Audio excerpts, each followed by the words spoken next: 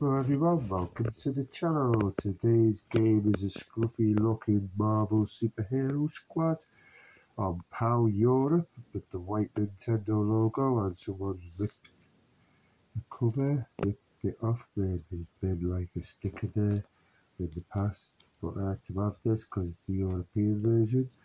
It's the blue triangle, um, I think that's Germany, I'm not sure or France, I'm not sure, but not the UK, so it's different. Okay, so that's the back, like that, which is awful as well. Yeah, and this is the inside, like that.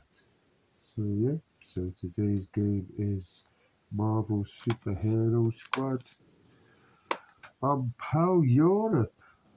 Um, still haven't got the, the UK version of this, so I'll be looking for that one. So until next time, everyone, have a lovely day, and I'll see you all soon. ta